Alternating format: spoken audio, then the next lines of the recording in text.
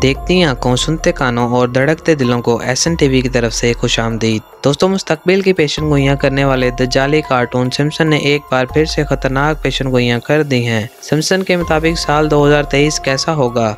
क्या ये साल इंसानी तारीख का सबसे बदतरीन साल होगा? इस साल आलमी सतह पर कौन कौन से और नाकबल यकीन वाकत रूनमा होंगे? आज मैं आपको 2023 के हवाले से सिमसन की चार बड़ी पेशन गोइयों का बताने जा रहा हूँ। तो चलिए दोस्तों, शुरू करते हैं। Number four. सिमसन की एक किस्त में दुनिया की मौजूदा सूरत हाल को कई साल पहले ही दिखा दिया गया था। और ये पेश गोई की गई थी कि दुनिया 2023 में महँगाई के अजाब में फंस कर रह जाएगी और ये सूरत हाल पूरी दुनिया को दरपेश होगी। सिमसन की एक किस्त में ह्यूमर नामी एक किरदार सिमसन को बताता है कि 2023 तक दुनिया की बड़ी आबादी गैस और तेल की कीमतों में इजाफे का सामना करेगी, जिससे महँगाई का ऐसा तूफ़ान आएगा जिसकी जद में अमेरिका समेत छोटे बड़े मालिक भी आएँगे। ह्यूमर सिमसन को अपने मोबाइल पर एक वीडियो दिखाते हुए बताता है कि 2023 तक लोकल फ़ार्मिंग खत्म हो जाएगी।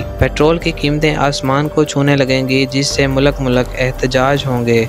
यहाँ तक कि अशिया खुर्दनोश की कमी का सामना भी करना पड़ेगा। और ऐसा किसी मखसूस मुल्क में नहीं, बल्कि अमेरिका, चाइना, यूरोप और दुनिया के सभी ममालिक में देखने को मिलेगा। इसकी एक मिसाल न्यूजीलैंड जैसा मुल्क है, जहाँ महँगाई की वजह से न्यूजीलैंड की प्राइम मिनिस्टर जसिंडा मुस्ताफ़ी हो चुकी हैं। Number three. दोस्तों सिमसन कार्टून की जानब से की जाने वाली सबसे हैरान कन और दिलचस्प पेशन गोई इलोन मस्क के हवाले से है। सिमसन की एक किस्त में दिखाई जाने वाली सीन के मुताबिक इलोन मस्क 2023 में मर जाएगा।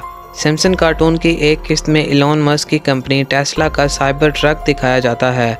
जो खराब होने की सूरत में वर्कशॉप भेजा जाता है। दूसरी जानब स्पेस में मौजूद शटल का मंजर दिखाया जाता है, जहाँ सिमसन एक रोबोट की शक्ल में मौजूद होता है और सिमसन अपने जिसम में मौजूद एक बटन प्रेस करता है, जिससे सिमसन का कंप्यूटराइज सिस्टम खराब हो जाता है, जिससे सिमसन रोबोट इंसानों पर हमला कर देता है। दोस्तों, छब्बीसवें सीज़न की इस किस्त से जुड़ी एक और किस्त में ये भी दिखाया गया है कि इलोन मस्क अपने खलाई रॉकेट में बैठकर सिमसन के घर के लॉन में उतरता है और सिमसन इलोन मस्क से रिक्वेस्ट करता है कि वो उससे दोस्ती कर ले।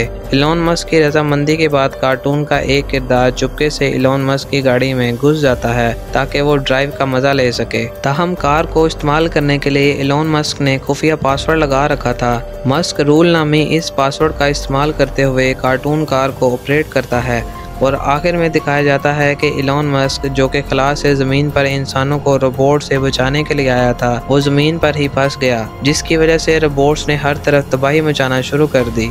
दरअसल, उस किस्त में बताया यह गया है कि इलोन मस्क की इम्पोर्टेड गाड़ियाँ जहाँ दुनिया की टेक्नोलॉजी को बदल रही हैं, वही टेक्नोलॉजी तबाही भी ला सकती हैं और इसका शिकार खुद इलोन मस्क भी हो सकता है। नंबर टू दोस्तों, अब आते हैं सिमसन कार्टून की उस पेशगोई की तरफ़ जिसका ताल्लुक पाकिस्तान से है। सैमसन कार्टून ने साल 2023 में पाकिस्तान में जल्जलों की पेशगोई भी कर रखी है, जिसमें बड़ी तादाद में पाकिस्तानियों की जान भी जा सकती है, जबकि माली नुकसान का काफ़ी हद तक अंदेशा है। इस पेशगोई में पाकिस्तान ही नहीं, बल्कि दुनिया के 70 फ़ीसद इलाकों का ज़िक्र किया गया है। इस कार्टून को देखते हुए साउथ एशिया रीजन कोऑर्डिनेटर ने बयान जारी किया है कि जिस तरह नेपाल में सात अशारिया आठ शिदत का जल्जला आया था, इसी तरह का जल्जला नेपाल के मुख्तलिफ़ हमसाया मालिक, जैसे पाकिस्तान, इंडिया और भूटान में भी आ सकता है, जो शायद तबाही का बायस बनेगा। आलमी माहरीन के मुताबिक, दो हज़ार तेईस में अमेरिका, न्यूजीलैंड, जापान, तुर्की और चिली भी हिट लिस्ट पर मौजूद हैं, जहाँ जल्जला पैदा करने वाली टेक्टोनिक प्लेट्स हरकत कर रही हैं।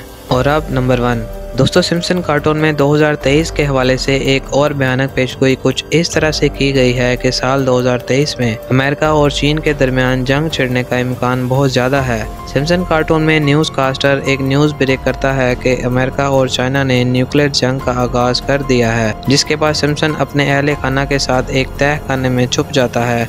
और जंग के असरा से बचने के लिए एहतियाती तदाबीर इख्तियार कर लेता है। उस किस्त में दिखाया जाने वाला साल 2023 था, यानी मौजूदा साल अमेरिका और चीन के तनाज़ा से भरपूर होगा। दोस्तों, माजी में दिखाए गए सिमसन के कई वाक़ात हकीकत में हो चुके हैं, जैसा कि ट्रंप को अमेरिका की सदारत मिलना, कमिला हैरिस का नायब सदर मुंतब होना, ये कार्टून सीरीज़ 1989 में शुरू की गई और तब से लेकर आज तक ये चल रही है। अब देखना यह है कि क्या 2023 में भी वो सब कुछ होगा जो सिमसन कार्टून में दिखाया गया। उम्मीद है मेरी बाकी वीडियोस की तरह आप इसे भी लाइक और अपने दोस्तों के साथ ज़रूर शेयर करेंगे। मिलते हैं एक नई शानदार वीडियो में।